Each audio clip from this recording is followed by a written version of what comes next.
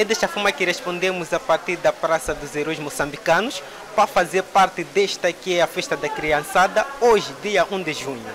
Como não bastasse, temos aqui alguns amiguinhos da, do Parlamento Infantil, estes então que incansavelmente têm advogado aqueles que são os direitos da criança.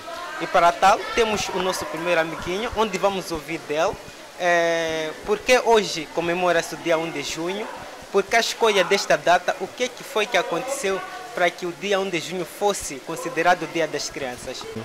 É, hoje comemora-se o Dia Internacional das Crianças, porque há anos atrás, no tempo do colono, as crianças metiam, se metiam aos trabalhos infantis, eles não tiveram, não tiveram a oportunidade de poder celebrar o Dia 1 de junho, porque alguns, eles não, as crianças não, não cumpriam com os seus deveres, né, os direitos. Eles metiam trabalhos infantis, trabalhos coisas que não cabiam às crianças. Então, a ONU né, resolveu, fez uma sentada entre lá os estados, resolveram que houvesse uma pausa, né, existisse um dia que comemorasse o Dia Internacional das Crianças. Então, foi assinado hoje, né, dia 1 de junho, que é o Dia Internacional das Crianças, que a quinzena de, de a quinzena da criança começa dia 1 de junho e termina dia 16 de junho, que é o dia das crianças africanas. Então estamos nessa praça a comemorar essa mesma data em representação de todas as crianças moçambicanas. E tu como criança, qual é o apelo que deixa para os pais e encarregados de educação nas nossas casas?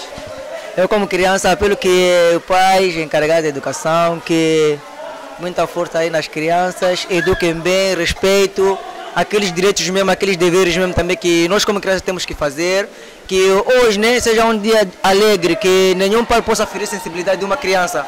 A nossa equipe de reportagem ouviu algumas crianças do parlamento infantil, estas que sentem-se felizes pela data e apelam a todos os pais e encarregados de educação a não casamentos prematuros. Criança tem direito a uma família, tem direito a uma nacionalidade dever. Criança tem dever a lavar prato, respeitar o mais velho. A criança tem, tem, a criança tem direito à vida saúde, e de, também saúde. Dever, a criança tem dever respeitar o mais velho, mas a criança tem dever. A equipe da SRTV não parou por aqui escalou a escola primária do primeiro e segundo grau de Quilimani, onde ficou a par de toda a organização pelo diretor daquela instituição de ensino.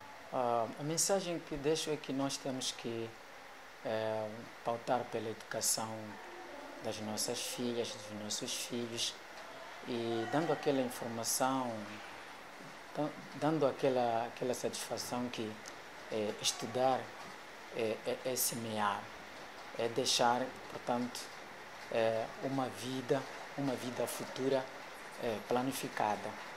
É uma criança que é, estuda, é uma criança com novos horizontes, é uma criança que, portanto, com é, experiências futuras e prontos para poder é, fazer valer o nosso país. O nosso país precisa dessas crianças, o nosso país, portanto, precisa um desenvolvimento. O nosso país precisa, portanto, de, um, de um futuro acolhedor.